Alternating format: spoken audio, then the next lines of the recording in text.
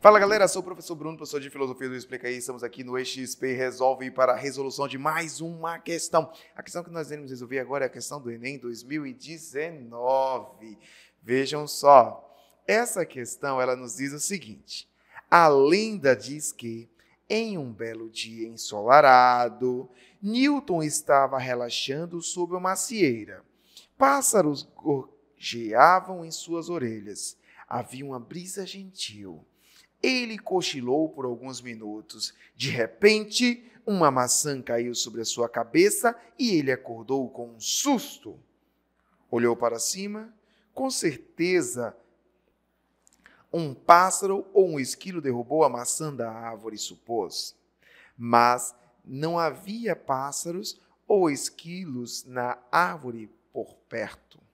Ele então pensou: apenas alguns minutos antes, a maçã estava pendurada na árvore. Nenhuma força externa fez ela cair. Deve haver alguma força subjacente que causa a queda das coisas para a terra. Lenta e gradativamente, ele ia estabelecendo as suas leis. Vamos lá. Então, olha o que o texto nos diz. Ele vem numa perspectiva de causalidade.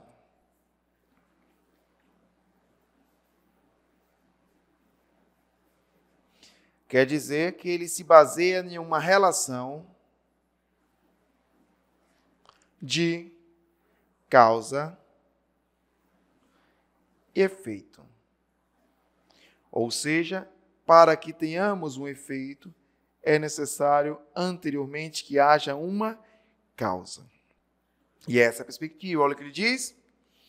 Apenas alguns minutos antes, a maçã estava pendurada na árvore Nenhuma força externa fez ela cair. Deve haver alguma força subjacente que causa a queda das coisas para a terra. É como se houvesse algo que as atraísse. Essa é a relação dele. Em contraponto a uma interpretação idealizada, o texto aponta para a seguinte dimensão fundamental da ciência moderna: Letra A, falsificação das teses. Galera, quem trabalha com essa perspectiva de falsibilidade das teses não é o Newton, mas sim o Karl Popper. O Popper que fala sobre a questão da falsibilidade. Portanto, nós já sabemos que não é a letra A. A letra B diz negação da observação. Mas espera lá, se ele está se contrapondo a uma interpretação idealizada, se ele se baseou exatamente na observação da maçã que caíra em sua cabeça, então não há negação. Portanto, já descartamos a letra B. A letra C diz proposição de hipóteses. Há uma proposição de hipóteses? Assim, ela estava fixa, agora caiu e foi, ó, atraída para a terra então já temos a assertiva. Letra D, contemplação da natureza. Se é um contraponto à interpretação idealizada, então não há uma contemplação, mas sim uma análise, uma observação pormenorizada. Então, não há essa contemplação.